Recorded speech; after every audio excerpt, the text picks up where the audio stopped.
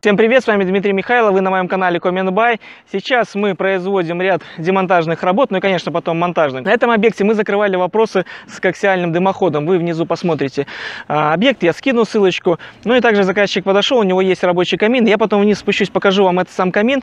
Но сейчас мы работаем вверху и стандартная кирпичная кладка. А внизу 200 диаметра труба. Мы изначально, когда приехали сюда, привезли вставку 200 миллиметров. Ну, когда подняли, здесь оказалась а, прямоугольная кирпичная кладка и, соответственно, была загильзована овальная вставка. И сейчас я вам как делать нельзя, ни в коем случае. Я понимаю, что вы можете как потребитель не проверить эту информацию, но вы должны о ней знать, потому что мой канал именно а, посвящается конечному потребителю, а потом уже монтажникам. А если смотрят так монтажники, то не делайте делайте так. А, делайте, если у вас, вы, у вас есть работа, дорожите и работайте как положено. И вот смотрите, вот наша кирпичная кладка. Видно, что она когда-то работала.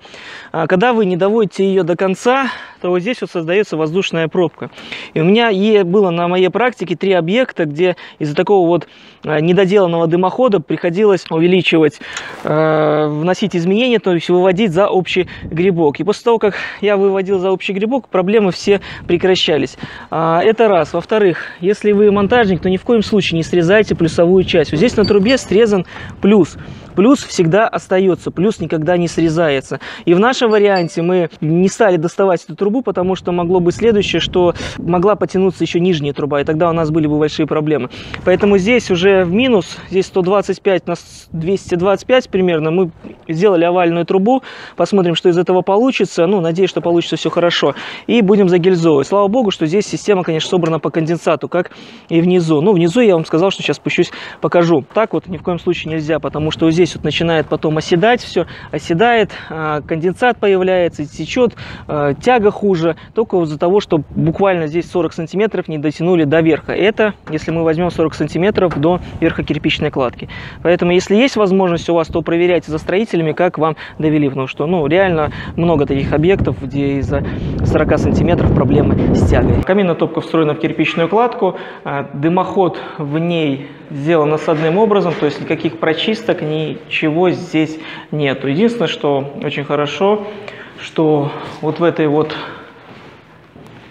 шахте, просунув туда э, видеокамеру, мы можем увидеть, что что дымоход собран по конденсату, то есть раструб вверх.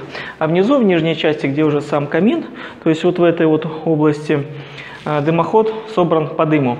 Если я где-то переделаю дымоходы, каминные вставки именно собраны вот так, если насадной образ, насадным образом, потому что а, в трубе есть 200 плюс, 200 минус. А, что получается? Получается следующее. 200 плюс, когда вы ставите на большинство топок, хотя заявляет а, производитель, что выход 200, у них диаметр 195-196 миллиметров. И плюсовая часть, она очень люфтит.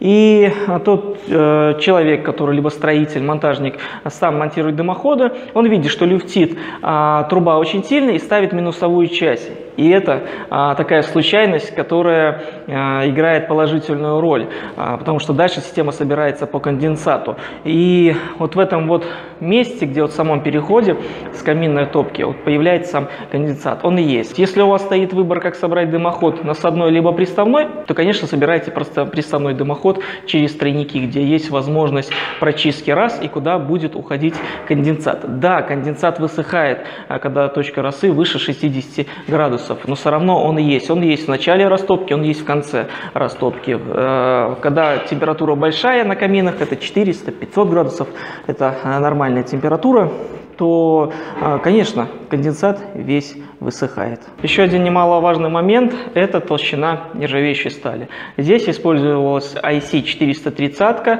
э, и 1 мм. Я производитель этого замечательно знаю в Республике Беларусь, потому что вот по этому шву, ну, по крайней мере, а с той трубой, которой я работаю, я уже могу судить, кто производитель. И здесь а, производитель наш белорусский. Этот производитель не делает 0,8, делает либо 0,5, либо единицу. Как в 430, так и в 304 исполнении. Но здесь стоит 430. 430 имеет право на жизнь. Вот если в таких вот случаях приехать побаловаться, но не более. Если у вас отопление основное, если вы рассчитываете на то, что будет постоянно работать камин, то ставьте, конечно, 304, конечно, единицы, минимум 0,8 и по всей длине. Ни в коем случае не экономьте, не ставьте вначале толстую, потом тонкую нержавейку. Почему? Потому что при возгорании сажи 0,5, 0,6 и выйдет из строя, чем единица, либо 0,8.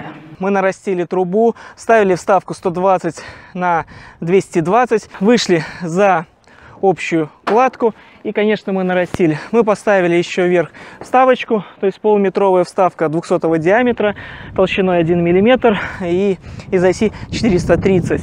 А, кольцо уплотнения поставили. Для чего оно нужно? Для того, чтобы убрать герметизацию, сделать аккуратненько. Но и грибок, обращайте внимание, грибок здесь более высокий, для того, чтобы было меньше сопротивления и легче было выходить дыму. А, это вот такая классика, это тот минимум, который должен быть на а, каминах.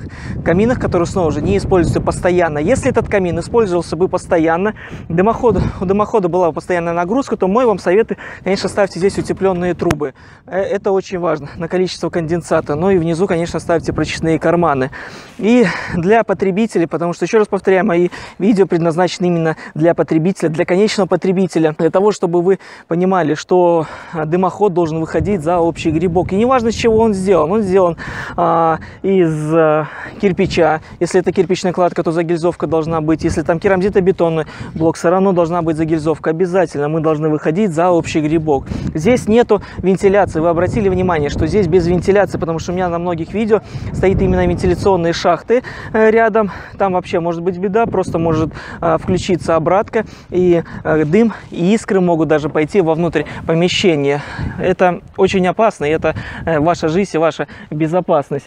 Поэтому здесь, если вот в этом исполнении оставить не выводить за общий грибок, потому что у меня есть объекты, когда Люди прямо настаивают убрать грибок, не выводить за общий э, грибок э, трубу из нержавейки, но проходит время, у кого-то э, везет э, через год, полтора, у кого-то через месяц, просят Дмитрий переделать дымоход, потому что у нас проблем. А проблема следующая, если это газовый котел, то здесь начинает все течь, э, плюс котел может отключаться, если это э, твердотопливный котел и камин.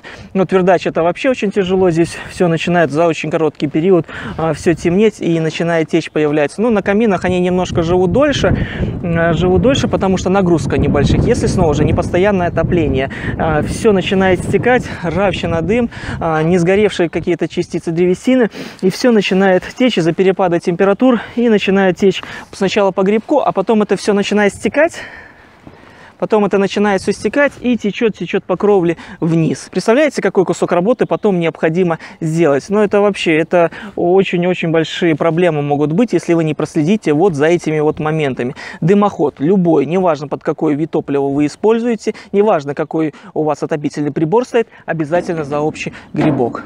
Все, с вами был Дмитрий Михайлов, коммент бай, подписывайтесь на мой канал, заказывайте у меня монтаж дымоходов. Всем хорошего настроения, до новых встреч, пока.